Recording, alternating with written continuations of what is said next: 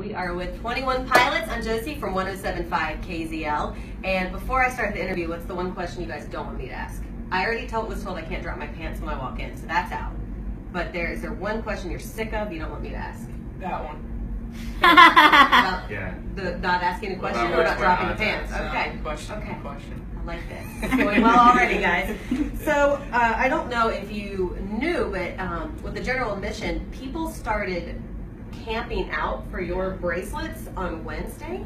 Oh wow. There was actually an encampment here on the side of the building. People came in from Pennsylvania. Wow. Mind you, you're in North Carolina. It was a drive. Yeah. Um, all over, and they had tents. They were using the construction porta johns and using baby wipes. So they're probably going to smell a bit when you get on stage. You'll smell them. That's the sign of a good show. How do you?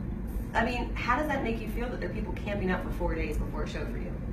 Well, it makes me realize uh, how tough our fans are. Because Very Right. much. I feel like I would tap out after like an hour three. Yeah, yeah, absolutely. Like I like these guys and their music's great, but man, I got I need days. some I need some running water.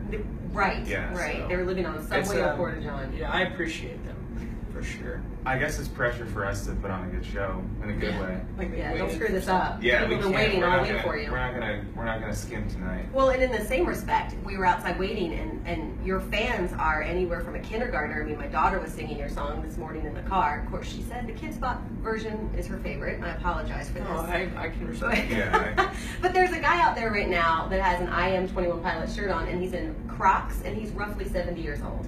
That So- is. Oh, I took a Yeah. picture. Let me get that. I do. Yeah, I wanna Um, see that. how do you how do you feel about? Um, I mean, how you, your fan base? His shirt says I Am That's 21. The Dad. I knew it was gonna be David I- the we Dad. know we, him. we know him. Oh, okay. Well then. He's, he's awesome. He's our he's our bud. He's hardcore, isn't he? Yeah. There's a guy in the Crocs. He's totally, he's totally not 70 years No. oh, is he? Oh, don't tell him I said Oh, that. whoops. But I mean, you can edit to say you know 65. Oh. Aw. So, uh, but there's also girls out there that have your matching tattoos and, and have their necks painted. And how does, I mean, that's got to be a little overwhelming. The expectations are a little high here, right? People are mimicking you. Yeah. Well, you know what? I, I think that uh, we've always tried to live our lives in a way that even I, I think growing up and we're both the oldest of um, four kids, so we have three younger siblings, and I always try to kind of do the right thing and, and show them kind of what we've learned and the, the, the best way to live. And now I think, um, in a way, having a bunch of other brothers and sisters.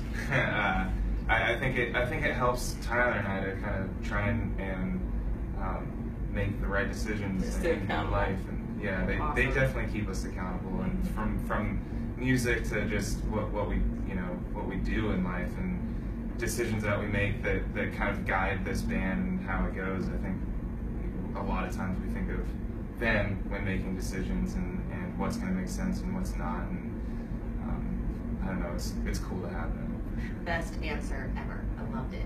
Uh, favorite place you've been um, on the road so far on tour? Favorite city?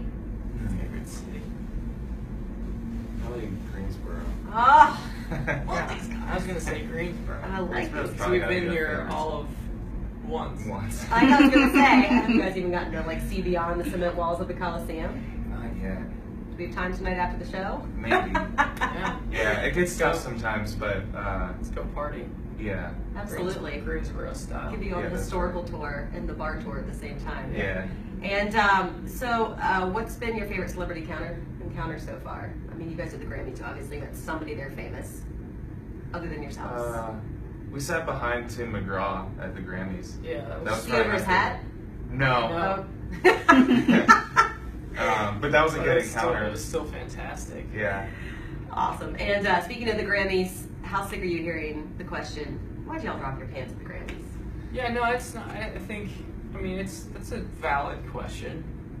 Not a lot of people do that kind of thing. I feel like. We appreciated it. Yeah. Some of us really appreciated it.